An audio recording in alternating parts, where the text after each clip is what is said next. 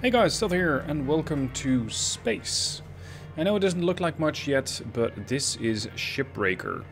Now, Shipbreaker is one of those games where you read the synopsis or you read the description of the game and you go, eh, is that going to be fun? Because what you do in Shipbreaker is that, well, you break apart ships. yes, surprising, isn't it? No, what you do in Shipbreaker is you are in space. Earth has been severely, well, let's say expanding into space, and with that comes space junk, or old ships, or old units, or old stations that are no longer in use. And it is your role as a shipbreaker to clean stuff up. You're basically a recycler, and that means you get to take ships apart with the uh, benefits and perils that come with that. Now, I'm going to talk you through what I have over here. This is the habitation module. This is where I can buy my equipment, my upgrade and such. Um, I don't really have a lot to spend at the moment, nor do I really have a lot to work with, so I'm not going to be doing much of that. Uh, you got comms and data, which I don't believe is actually in the game yet, because it is in early access. And there is certification, and the higher certification you get, the higher the rank you get, the more types of things you can unlock that you can actually break apart, and the better your equipment is going to get.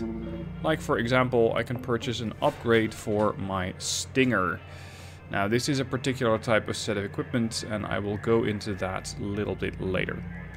This is going to be another series. Uh, I'm saying series. It's going to be at least five episodes probably of calm content, which means no ad interruptions. Just maybe you had one at the start, but that's about it. Uh, the rest of it is just going to be a bit of gameplay and me talking in the background. And I'm actually considering uh, combining this gameplay with a bit that somebody asked me, and I thought, you know, that's an interesting thing. Uh, somebody asked me, how are you preparing to be a dad? Because in case you don't know, uh, I have a dad, or I have a dad coming. No, I have a son coming in September. So yes, I have been preparing some stuff and, uh, well, preparing for a child like that is something I've never done before. So he asked me to discuss that a bit, and I think I can do both. I can make this both calm content and discuss that a bit. So, let's get out there and find something to break down.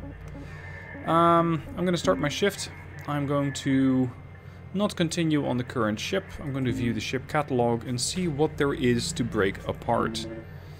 Uh, no, I don't want to claim the ship just yet. Let's see, over here we have a station hopper. We have a light cargo ship.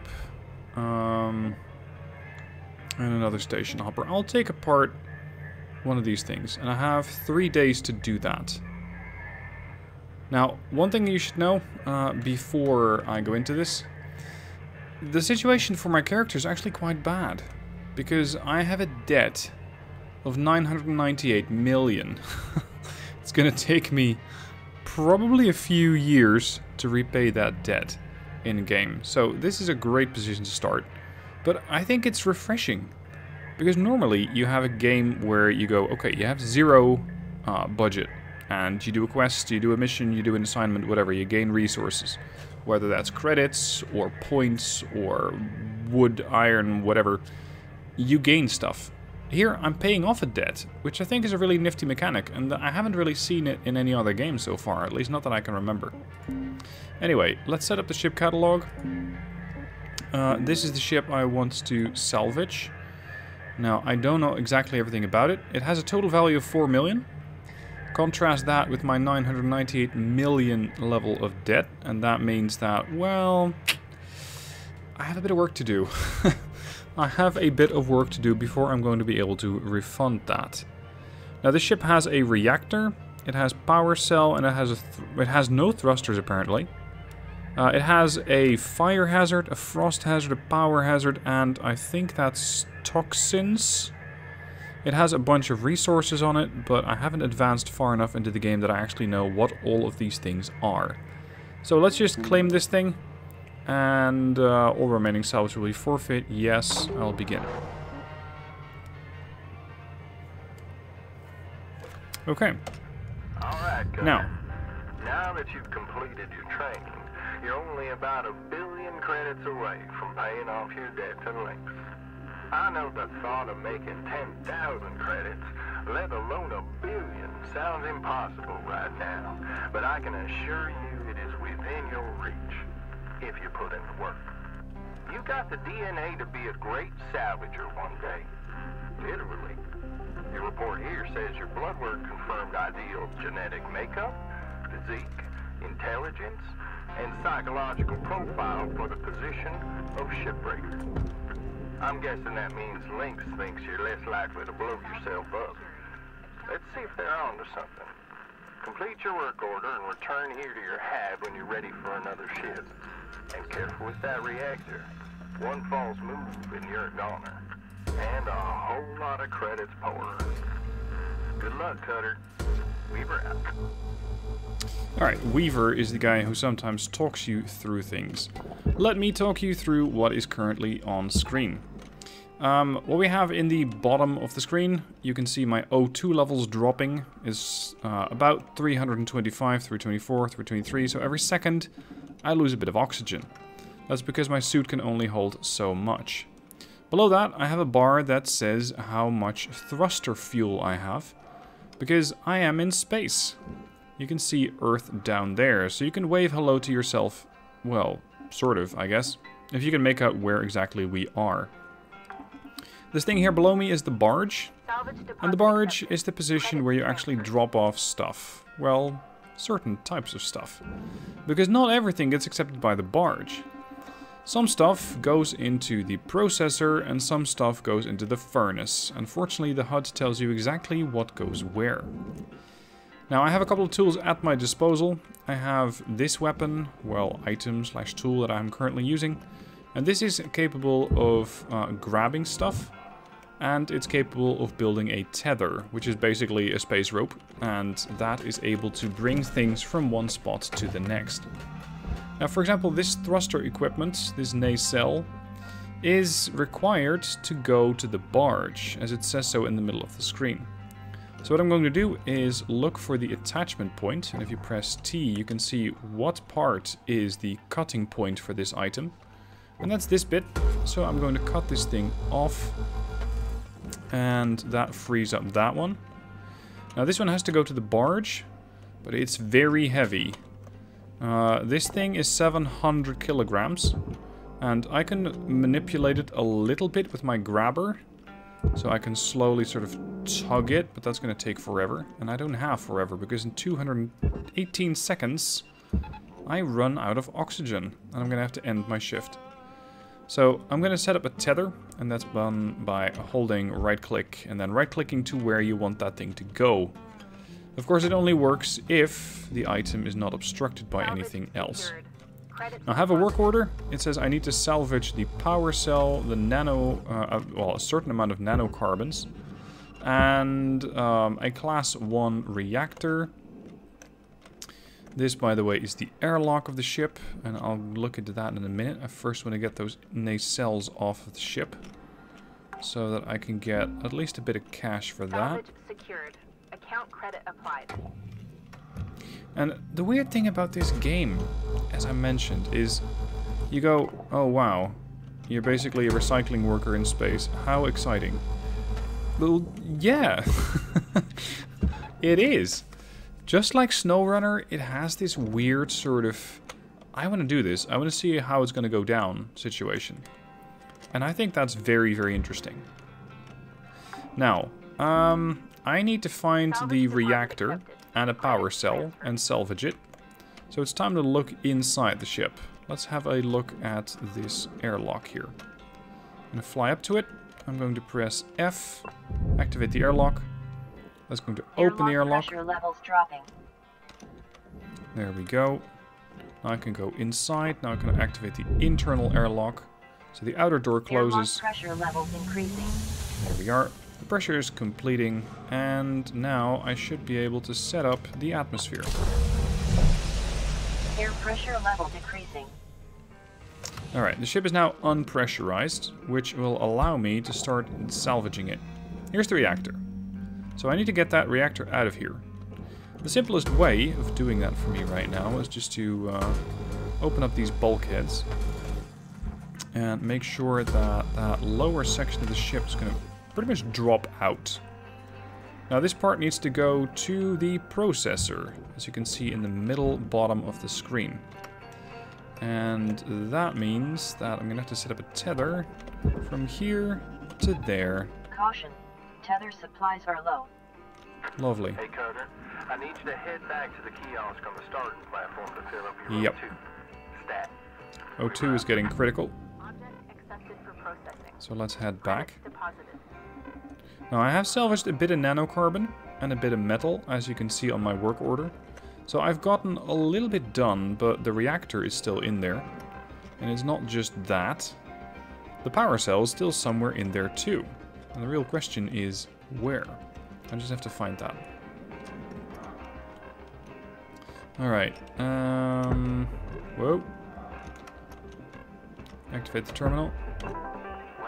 I need an oxygen supply. There we go. My oxygen has been resupplied, but that just cost me 8,000, if I'm not mistaken. Thank you for your purchase. See, that was another 9,000. Or that's the availability. I'm not too sure which it is, but I am assuming that nothing in space comes for free, let alone oxygen. Anyway, at least now I have a little bit more breathing space, literally. So now I can see if I can pull that reactor out of here. So get to the bottom of the ship, because that's where I removed that one plate. These panels are made of nanocarbons and can also be removed. And everything you see here can be removed. The whole ship can be disassembled. So let's disassemble some more. I'm to try and get the whole rear of the ship off. In case you don't want to do it in the way that I'm doing it, you can also use this system. This is the welder, or the rather, not so much the welder, this is the split saw. And I can set it up like this and make a horizontal incision and do it again vertical and do it again over there. And now I can just pull this part out and this has to go into the furnace. But it first has to get off the ship. So let's bring this over here-ish. Get down. Now, I don't have a lot of tethers available, so I'm going to have to do it preferably without tethers. I can also sort of toss that thing over, and that's going to help with the amount of metal that I need. There, it just jumped to 302.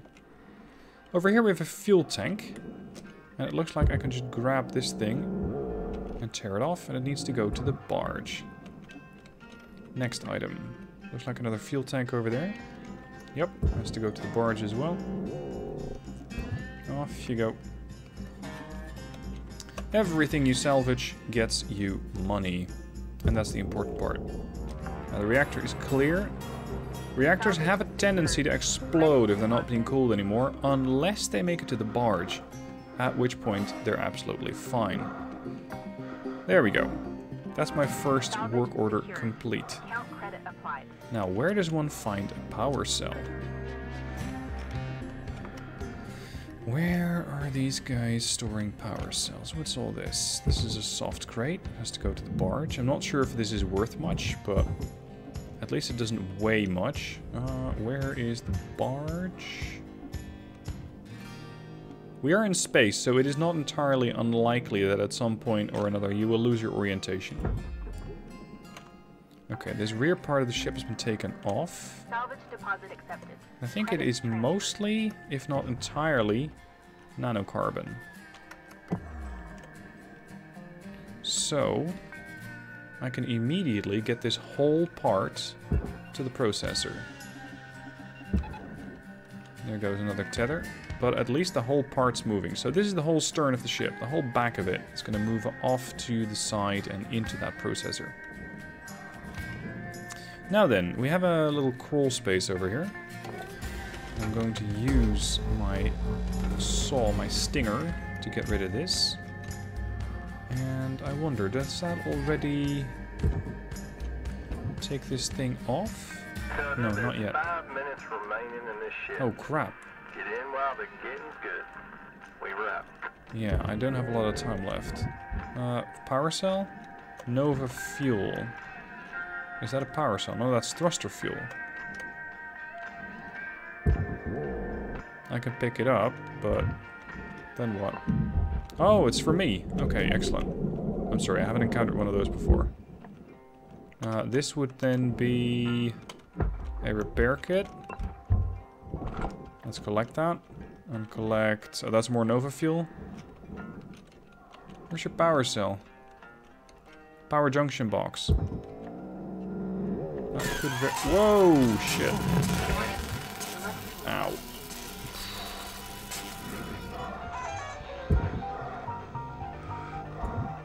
Yeah. Maybe not try and tear a power pack off the wall just to see what happens. Because it's not pretty. Let's just get that thing out of here. Material, Material deposited. deposited. Good.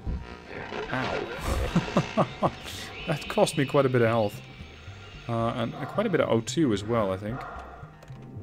Still, we still got one of these things here. So just to go to the barge. I don't know if I'm going to make it to that power cell. Salvage secured. Credits deposited. Cutter, make your way back to the kiosk on the starting Yes, sir. platform to fill up your O2. Blue ain't your cover. Trust me on this one. We were Blue ain't your crawler. anyway, to broach the other subject, what have I been doing so far to prepare to be a dad? Well, practical stuff first, of course. Um, we have been preparing the baby room so far. And we have uh, moved to the house where we currently live in uh, 2018. Uh, interesting story there, by the way. Because what happened was we were married for, I think, a week. Uh, maybe two. And that's when we got a, a call that says, hey, um, you are selected as a potential tenant for this place because you've had built up a certain wait period. So uh, you're free to come look. And I thought, okay, I'll go look. My wife was at work, so she couldn't go.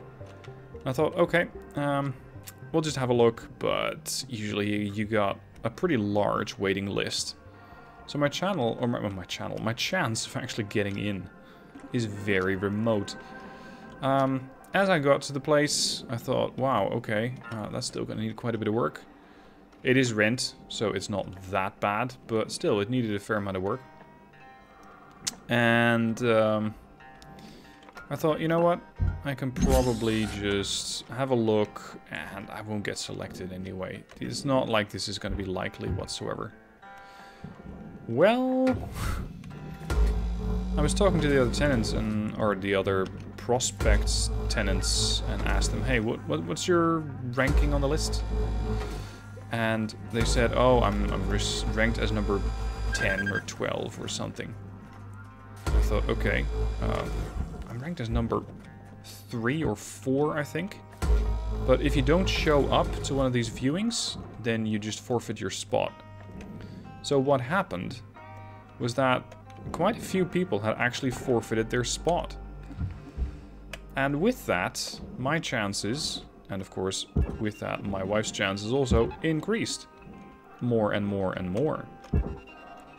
And as it turned out, we uh, got to get the place if the number one on the list didn't actually take it. Time to start wrapping things up. So I thought, okay, uh, fine. Well, we'll see. But I'm still not that likely to get it. And then the woman said, okay, uh, number one's probably not... Or let's... No, I had to answer right on the spot. If the number one guy on the list didn't want it, was I interested? Uh, I said, sure, but... Uh, but I do want to discuss this with my wife because we've been married and we I don't even think we got to see pictures of it. So I sent her pictures as quickly as possible. Fuck. Warning, electrical damage. Note no that shit. excess electrical damage has been found to negatively impact long-term job satisfaction. You mean don't touch the electrical stuff? Yeah, that makes sense. Um, I had been uh, just married for a very, very short amount of time, and I was already making almost unilateral decisions about whether we're going to accept this house or not. Anyway, um, long story short, yes, we accepted it, and yes, we actually live here now. Uh, we moved in pretty quick. And we have this uh, room, the baby room, and it is mostly ready.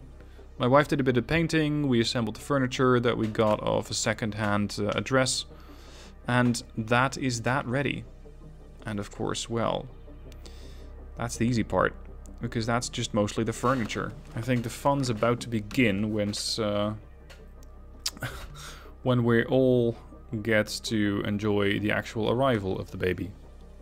Anyway, uh, back to the game for a second. Work order review, not quite done. I'm still in progress, but I still have a few more shifts for this one.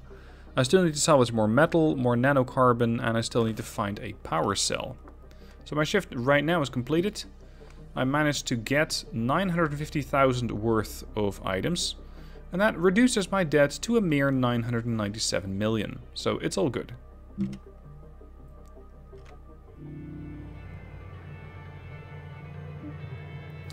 Right, that's the salvage total. Uh, let's see, I did have some equipment upgrades available. What I have right now is um, my modular cut laser cutter. This is the system that I use right now. I have the handheld utility grappler, and this is the item that I use to toss stuff over. So if I tear some part off, this is what I use. Let's see what upgrades I have for the laser cutter. Uh, this is going to add a bit of range, which is nice. It's going to cost me 308, no, 150 out of 380. So yes, I can afford that. And the 5, 6, 7, etc. that you see are required ranks. So if I level up to rank 5, I'm going to get access to the split saw and the next tier of that split saw. So it's going to add up more range on that thing. Now I also have heat capacity, so I can have the uh, the laser the laser cutter on longer, and this is cooldown, so it cools down faster. Let's see what else do I have. I can upgrade my helmet. Yeah, O2 capacity plus 100. That's nice. But that is about all I can get, because now my credits are gone. So let's start with the next shift.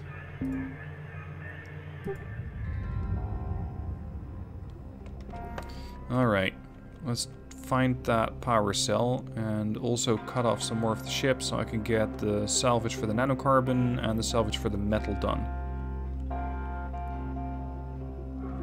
Anyway, uh, my wife's doing quite well with the pregnancy so far. It's been, uh, what was it? I think she's 26, 27 weeks in. I know that you're probably supposed to know this, but I don't. I don't know that. Uh, anyway, she's doing well. And I think that, especially with summer, it's going to get a little bit less comfortable. Because as it's, well, it's not really maybe not known is the right term, but uh, it's generally supposedly not very comfortable to be pregnant when it's really hot outside. So that's something that I hope she'll be able to deal with. Uh, and that I hope that the summer isn't going to be too warm. But the promise is that the summer is, in fact, going to be quite warm. Now, let's see. Where do I find a power cell? Alright, I got this nanocarbon done. Oh, I destroyed thruster class. Whoops. Um, let's enter the vision system. This is my scanner. Informs me where exactly certain items are. And I can see that there's the airlock. The reactor was back there. We got uh, crawl space, cockpit. What is that? Aluminum panel. Okay, what's behind that?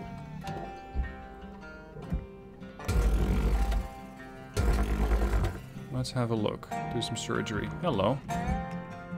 Oh, you're a coolant tank. Alright. I think you're a bit big, buddy. I might need to do some more surgery on the ship to see if I can get that out of here. That one, that one. Oop, it's getting a bit warm.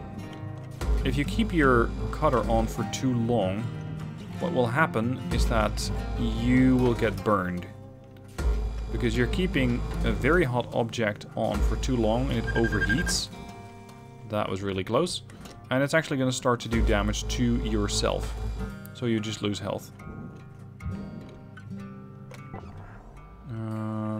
Should be fine. I cut off the components here. Yeah, I think the whole section is already drifting apart. There we go. I can use my own thrusters a bit to have an impact on it.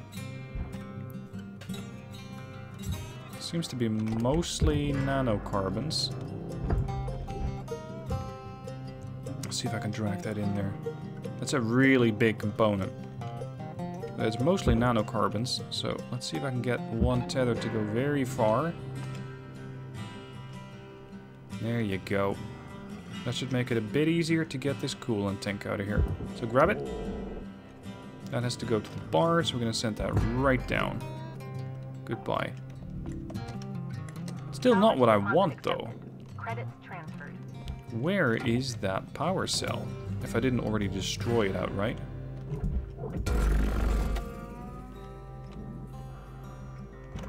Hold on, maybe there's a slightly more elegant solution for this. Just to just try and dismantle this ship. I need to get into the crawl space here. How do I do that? Hello, what are you? You need to get to the furnace. Alright, buddy. Off you go. Raw material Right, the furnace. The furnace, the furnace. This is a repair item. Uh, what is that? That's a light. That's not very interesting then.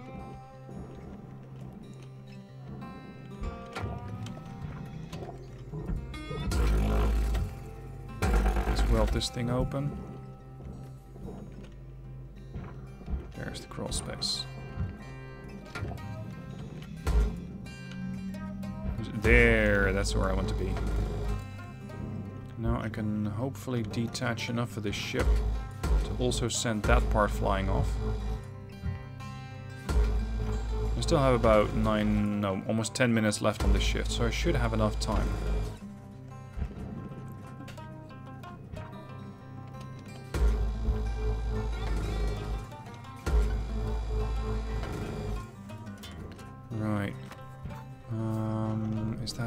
This section?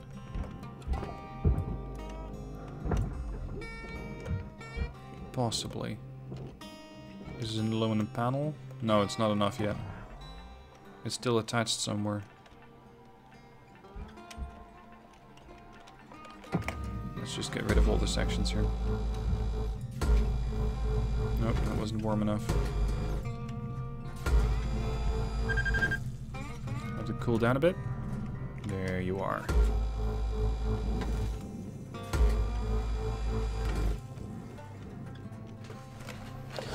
Alright, next section here.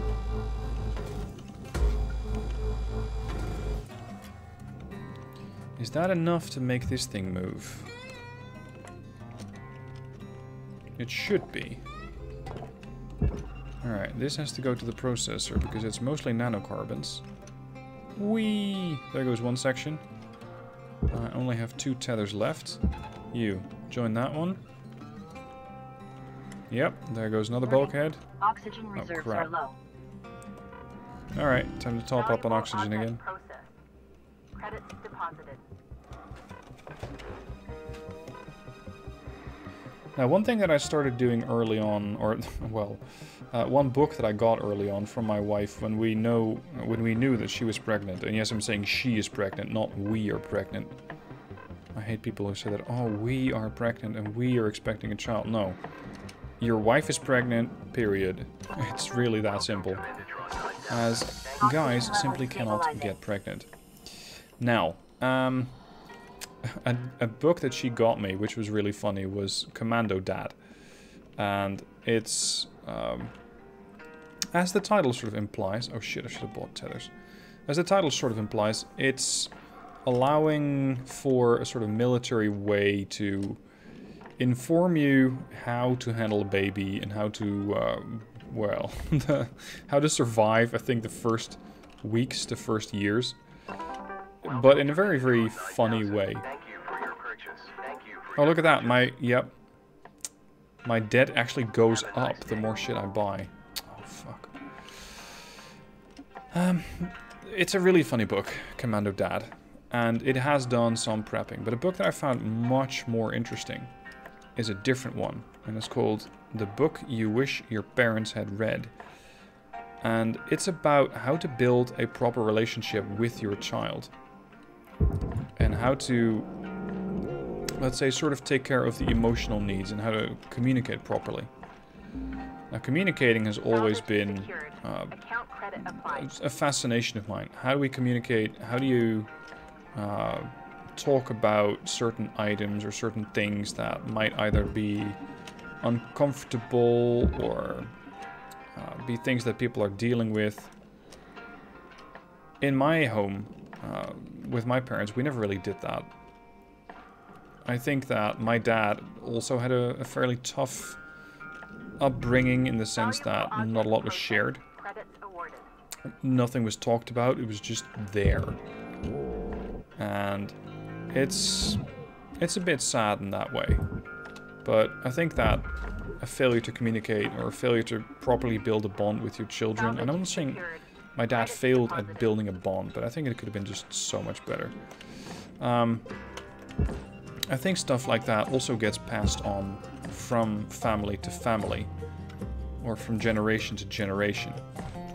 And I mean that in a way that if the previous generation fucked up, if the previous generation didn't know how to properly communicate, then it's entirely possible that the next generation also doesn't know how to communicate properly, or how to how to bond, how to talk. supplies are low. And that's something that I absolutely wanted. I wanted to get that right. It's something that I've been reading about for a long time. Uh, I think it's partially what prompted my previous career as a trainer in body language. So it was a very important element for me. And um, that book is really, really good. I can really recommend that if you are uh, well, let's say if you are becoming a parent, maybe it's going to be handy, but also if you... Whoops. Um, if you are just interested in communication in the first place. Like, how does that work? And, and what's the deal with that? And maybe also why your parents didn't communicate properly. For whatever reason that is. Come on. Let's get this panel out of here.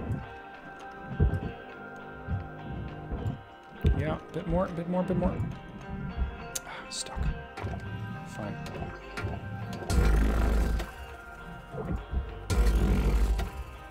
I still don't know where the power core is. Deposit salvage, yes, I would like that, but I don't know how. Let's get this seat. That has to go there. 3 minutes 48 left. I should have one more salvage shift after this Salvage one. deposit accepted. You, come here. Transferred. And down you go. Whoa, where's the chair? Oh, we didn't make it out of the ship. Come here.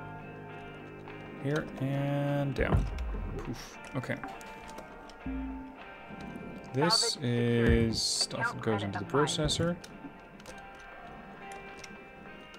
I think this part might still be attached. Yeah, there's supposedly a cutting point somewhere back here. Let's pick up that fuel for my thrusters. Where? Oh, here.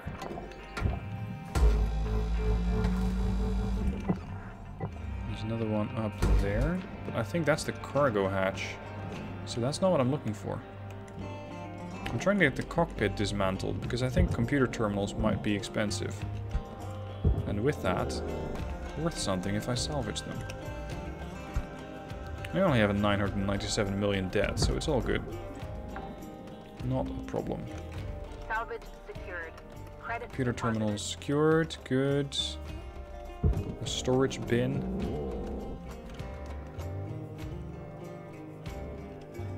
Let's get that to the barge. What you got there? Salvage deposit accepted. Credits transferred. Let's see. Let's see if I can get this cargo hatch off.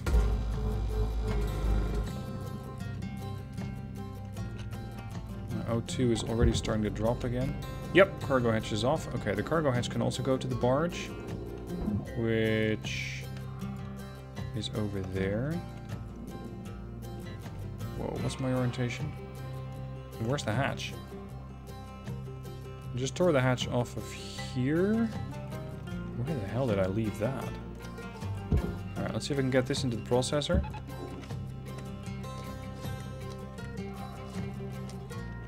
Uh, are you the hatch? No.